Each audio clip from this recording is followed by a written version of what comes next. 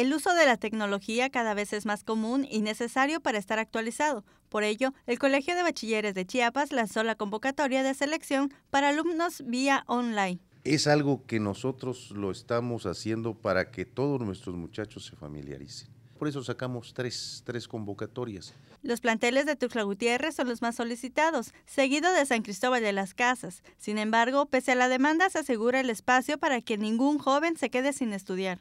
Tenemos calculado que para el primer semestre 2014B, nosotros, el Colegio de Bachilleres, debemos de reclutar o estamos ofertando 35 mil alumnos. En un momento dado que el alumno no logre acreditar su puntaje para entrar en el 13, lo colocamos en su segunda opción. Es decir, de los 1.500 alumnos que sacan ficha en el 13, todos quedan en el colegio de bachilleres. Entre los planteles que de manera paulatina alcanzan mayor demanda se encuentran los de Reforma, Palenque, Comitán, Tapachula y Cintalapa. Con imágenes de Gerardo Ruiz, Ana Laura Hernández, 10 Noticias.